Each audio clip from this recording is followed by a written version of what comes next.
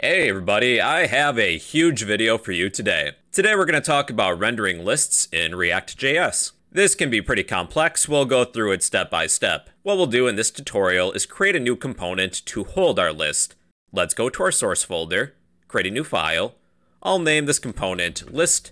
This will be a JSX file. To finish creating this component, this will be a function-based component with the name of list.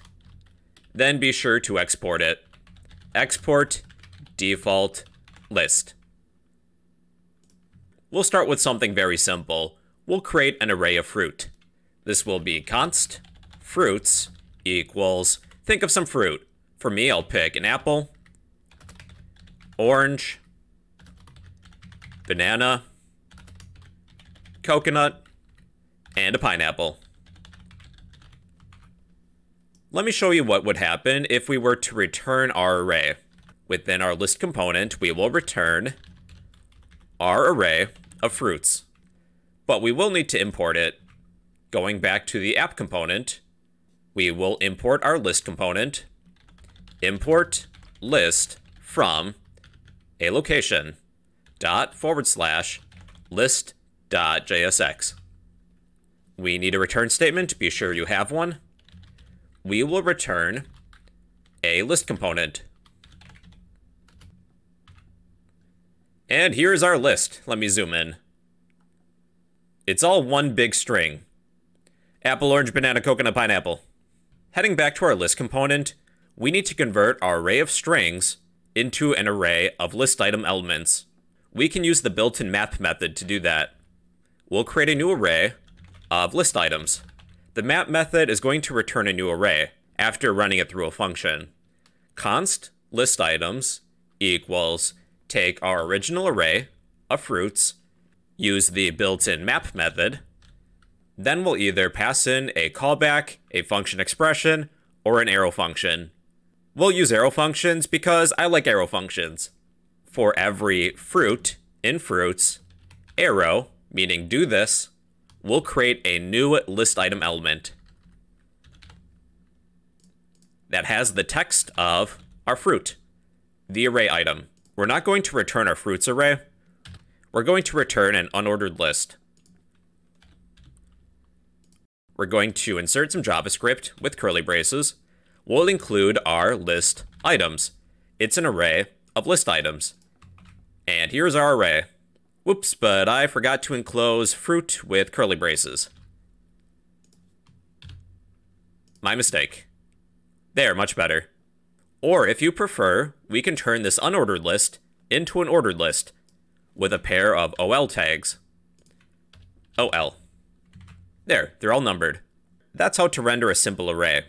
If you're working with an array of strings and you'd like to sort this array beforehand, you can use the sort method fruits.sort. The sort method will sort an array in place. However, this doesn't work with numbers, because we're sorting lexicographically. We would treat numbers and symbols as characters. More on that later. Let's go over example 2. We'll convert our array of strings into an array of objects. Each object will have a name property and calories, calories per serving. So let's enclose all of our elements within a set of curly braces to make them objects.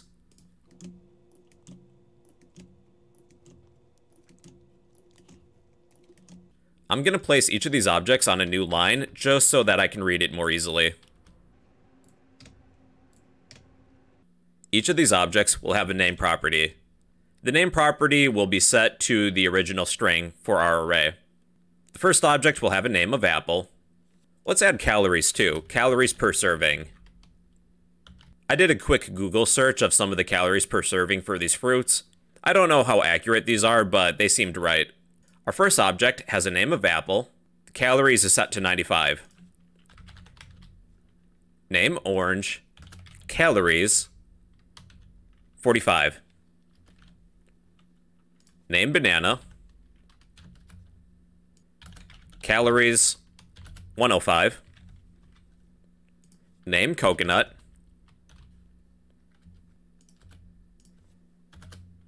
Coconut, calories 159. Name, pineapple, calories, 37. Alright, we now have an array of objects. There's a few changes we're going to make. If I run this again, our list isn't rendering. I need to display the name property of each fruit. Fruit dot name property. We have one issue behind the scenes. I'm going to right click, go to inspect, then go to console.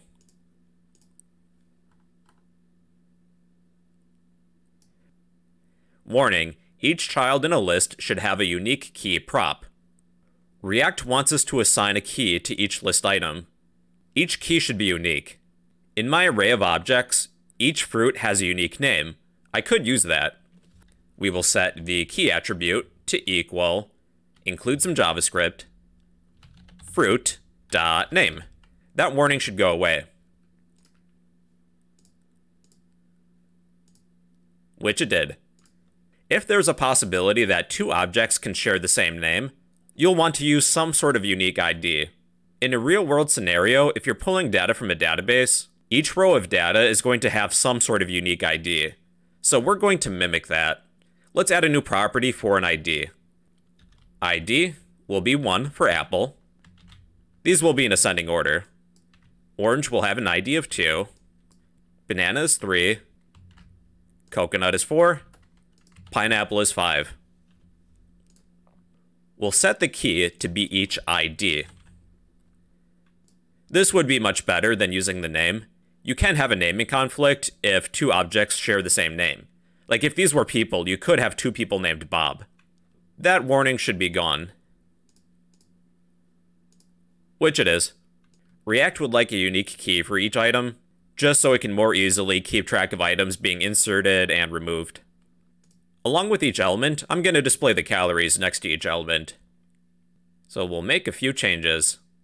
I'm going to put these HTML elements on a new line for readability. After the fruit's name, I'm going to add a colon, a non-breaking space character, ampersand, NBSP for a space. Oh, then add a semicolon. Forgot about that. Then we'll insert some JavaScript. Fruit dot calories for the calories of each fruit. I'll make it bold. I'll enclose our calories with a pair of bold tags, which is just B.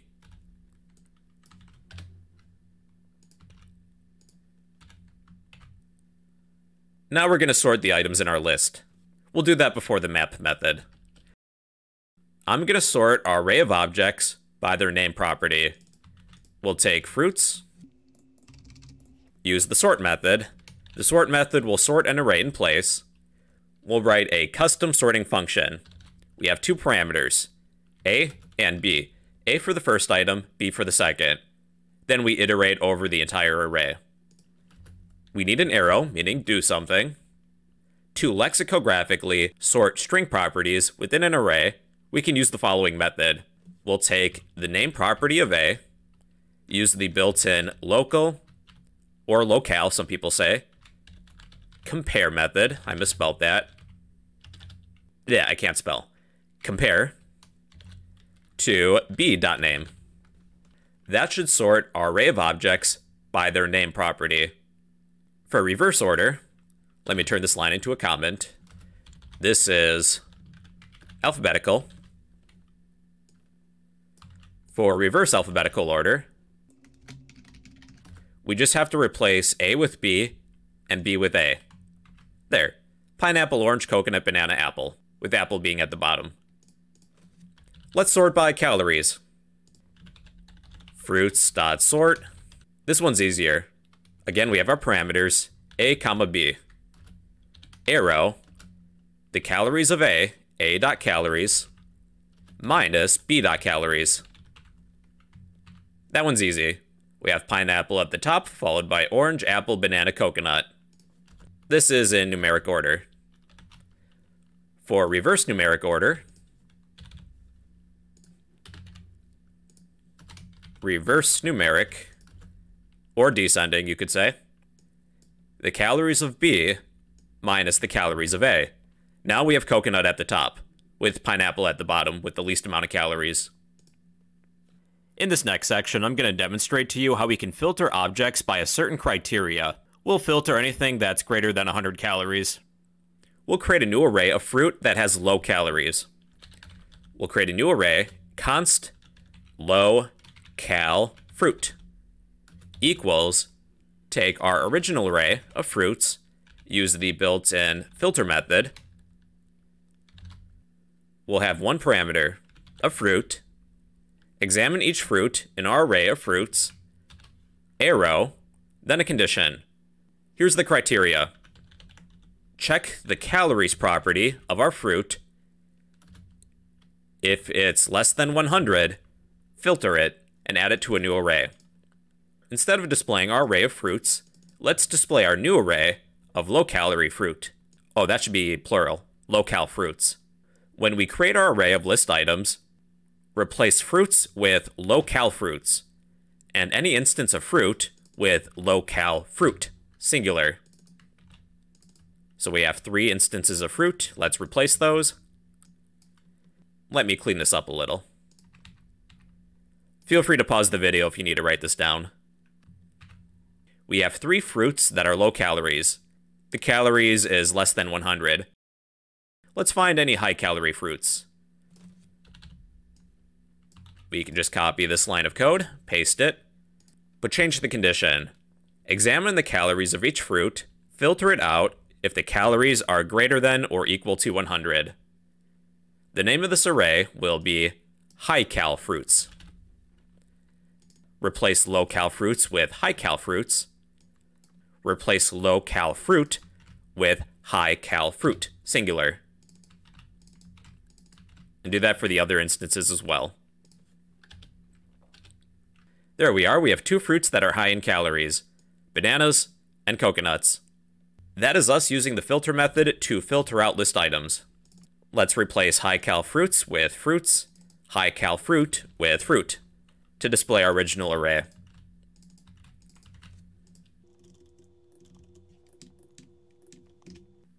For the next part of this lesson, we're going to transform this list component so it's reusable with different lists. Currently, the way that we set this up is that each list component that we create has its own list of fruit. So we're going to make some changes. Let's cut our list of fruits, going to the parent component of app, we'll paste our list of fruits, then pass it as props to our list component. With our list component, we will have a key of items equals, insert some JavaScript, our list of fruits. Let's also add a category key. Category equals, for my category, let's say fruits. Eventually, we'll add an H3 heading. We're now going to send all of this data to the list component, but we have to set up props. Within the list function, we have a parameter of props, we'll access the items of props to get our fruit. We'll create const item list equals, not to be confused with list items. List items is what we get after we map it. Item list equals props dot items. And remember that items is our fruits array. Replace fruits with item list. Replace fruit with item. Do that here, here, and here. There's our list again. If you're going to sort or use the filter method, be sure it's item list, not fruits. Because now list is a reusable component. I'll add our category too. That's stored within props. Const category equals props dot category. Currently, we're returning a single ordered list. I'll also include an H3 element. Include some JavaScript, we need curly braces, add our category. However, with our return statement, we can only return a single element, or many elements that are wrapped within a fragment. Let's create a fragment that will enclose all of our markup.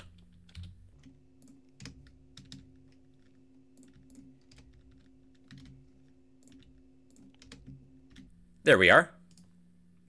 Going back to our app component, let's create a new list, just to make sure that our list component is reusable. Let's copy our array of fruits,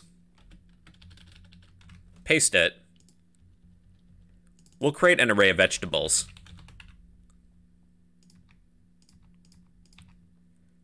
The IDs will be 6, 7, 8, 9, 10. The name of my first item will be potatoes, calories 110 per serving. Celery, calories will be 15. Carrots, calories 25. Corn, calories 63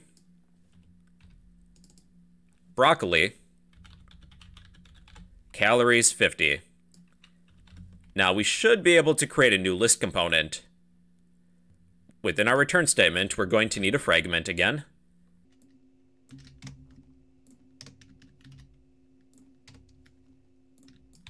We'll return a second list item component. The items will be vegetables. The category will be a string of vegetables. Boom, there we go. Here's our second list component. So our list component is now reusable. We can pass in many different types of lists. To make this look better, let's apply some CSS styling. We'll have to set a class name first. Our h3 element will have a class name equal to list dash category. Our ordered list we'll have a class name of list items. All right, going to our CSS style sheet, index.css, let's work on our list category first. Use dot to select a class, list category. I'm just going to run through these real quick. I'm going to make sure I'm zoomed in to 100 because I was zoomed in beforehand. Font size, 2.5 EM. Font weight will be bold. Pick a color. I'm going to stick with HSL values. I'll set the lightness to be 20%. I'll add a little bit of margin on the bottom. 10 pixels. Text align center.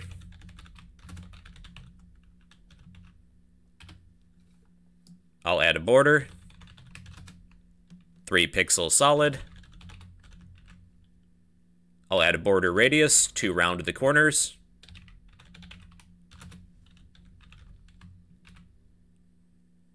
And a background color. Pick a color. Again, I'll use HSL. This one I pre-picked already. 185. 100%, 50%. That's not a bad looking color. Pick whatever color you would like.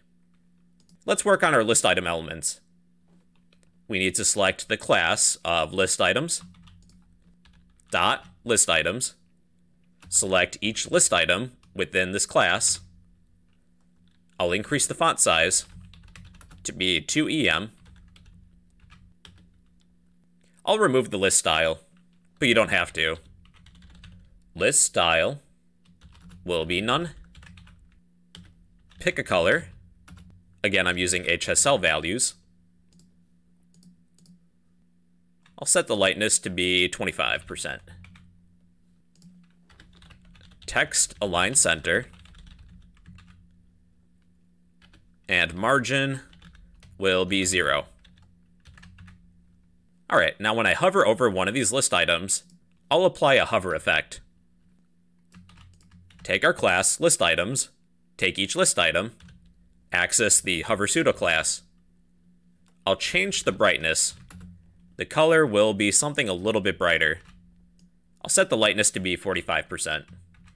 And then the cursor will be a pointer. Yeah, not bad. That's how we can apply some CSS styling to list components. Alright, heading back to our app component, what if we have an empty list? For example, with our fruits, I'm going to cut it. We can use conditional rendering to render our list only if there's elements. Let's put those back. We're going to write some JavaScript. We need some curly braces. Let's take our array of fruits, access the length property. Is it greater than zero? Question mark. If it is, we'll return our list component. Colon. If it's false, we can return null. Let's do that with our vegetables too. Take our array of vegetables, access the length property.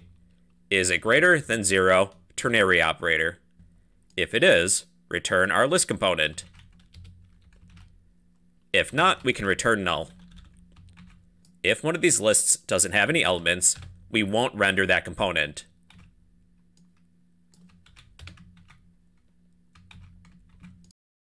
There is a shorthand to the ternary operator.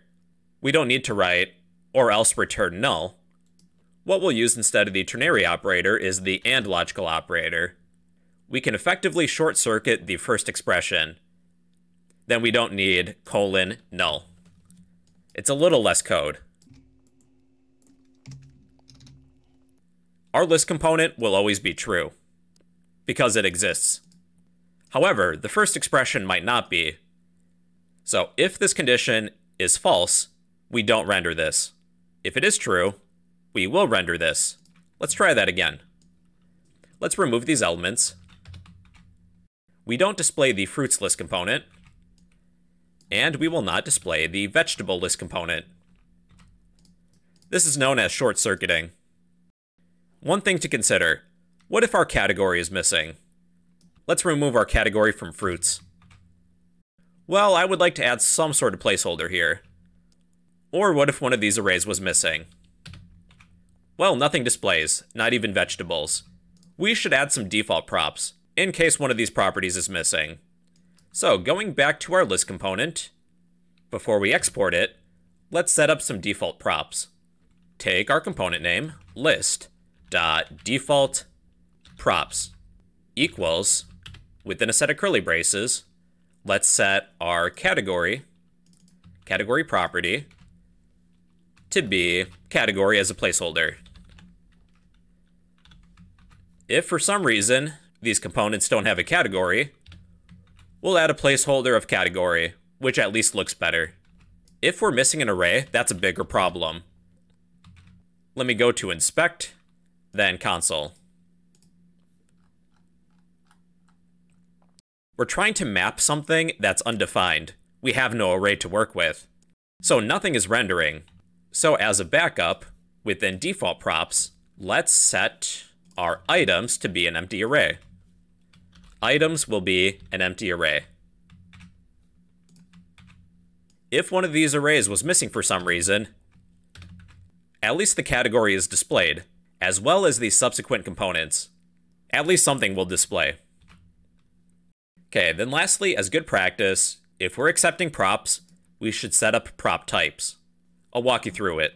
If you're just joining us with prop types, if the incorrect data type is passed into props, when we debug, it'll give us a warning. To use prop types, we have to import it.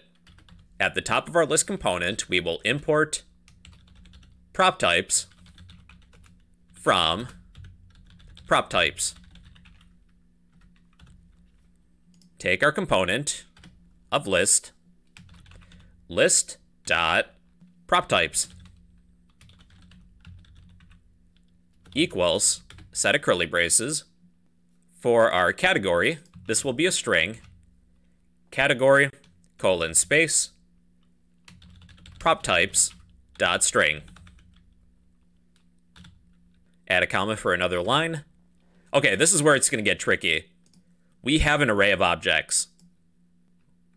We'll access the items property items colon space prop types. I'm going to move down a little bit. Dot. We have an array. Array of. We have an array of objects. Prop types. Dot shape method.